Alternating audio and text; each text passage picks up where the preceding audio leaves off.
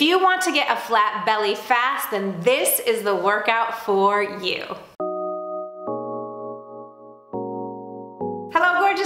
Welcome back to my channel and today I've got an incredible Pilates based workout that I know you are going to love. But before we dive into the workout, I just wanted to talk to you a little bit about Pilates and why it works so well, why I'm such a huge fan of Pilates. You know, Pilates has been around since the 1920s and it really is one of the best forms of exercise that you can do for your entire life. I mean, when I was teaching Pilates years ago, I had teenagers that I would teach up to women in their mid and late 80s. So you can do this for an entire lifetime because it is gentle on the body, but make no mistakes, it is challenging and you will feel it. So without further ado, let's dive into this Pilates-based workout. Make sure to stay to the end because I've got something really juicy for you. Flex through your feet here, lower just the leg farthest away from me down to the floor. So inhale, exhale, bring it up. Good, eight times, and down. Exhale, up, really feel the abs work. And three, exhale, good, that's it. Four, and exhale, good, keep going. Five, you're feeling it, right? And again, and six, me too. And up, that's it. And seven, exhale, good, last one Exhale, right into the other side. Exhale, pull in the abdominals. And inhale, exhale, pull it in. That's it.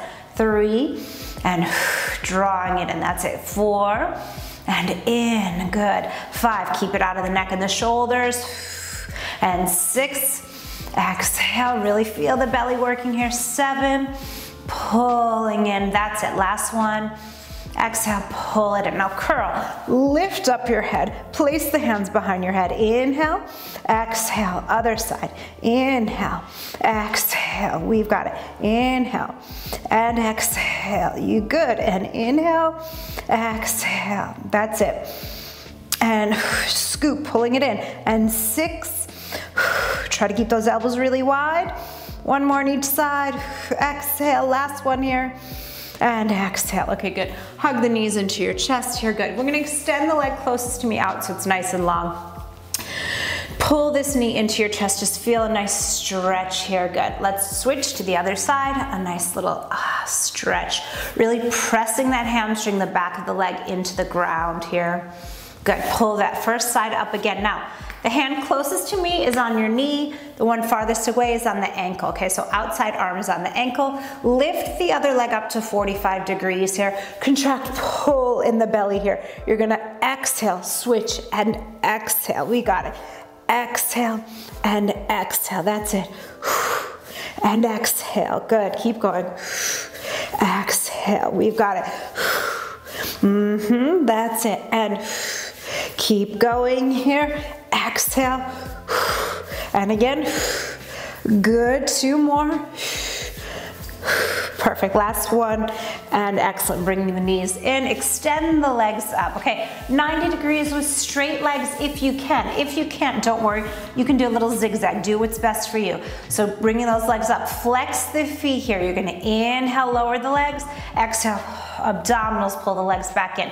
Inhale, lower, and exhale, drawing it in. Now, I'm not going very low today because my back is actually a little bit tight on one side. If you can go a little bit lower, great, but you have to listen to your body, okay? You know, eh, normally I can go quite a bit lower than this, but today I'm not pushing it, okay? So you have to do what feels best for you. And exhale, good. Keep going. I'm always holding a 26 pound child on one side of my body and uh, feeling it. And exhale, good. Two more here. And inhale and exhale. Very good. Last one here. Inhale and exhale. Okay, good. Excellent. Just bring the soles of the feet together. Let's open our knees out to the side and just breathe here. Just feel the hips opening here, just gentle and easy, okay? I want you to keep the arm closest to me, extended long on the floor. The other hand is behind your head here. We're gonna inhale here, taking a nice deep breath. And exhale, curl and lift up your head. Really feel the waist contracting here, good? And then lower down. Exhale, lift up, and then lower. You've got it, good. And lift up. Do you hear my voice shaking? And exhale, four. Good, keep going here. This is five. Good, we're really working the obliques here. And six, mm-hmm. And again, seven. Stay with me good and strong. This is eight. Perfect, let's do two more. Nine, good, last one. Now stay up here and pulse it. And two, beautiful. Three, really feel those obliques crunching here. And seven, and eight, and nine, and perfect. Okay, good. Let's place the other hand behind your head. Other arm is long. We're gonna do it all on the other side. Okay, so inhale here. Exhale, lift up, and then lower, that's it. And lift up, and lower. You've got it, good. And three, perfect. And four, good. Really focused work here on the abs. It's our entire focus today. And six, good. Stay with me here, seven. Beautiful obliques, sculpting the waist, getting those lines in our body. Two more. Last one now, stay here. Keep that elbow wide and pulse it. And two, beautiful work. And three, good. And four, say thank you, body. Five and six, that's it. And seven and eight and nine and perfect. Okay, good. I didn't lie. I did not tell you a lie. I told you you were gonna feel it, right? And that's why I just love Pilates so much. And again, I love it because uh, it has that longevity appeal. Whether you're 20, you're 30, you're 40, you're 50, you're 60, 70, 80, 90, whatever, you can do Pilates. So if staying fit for the long term is something that you desire, then I've got a really special invitation for you.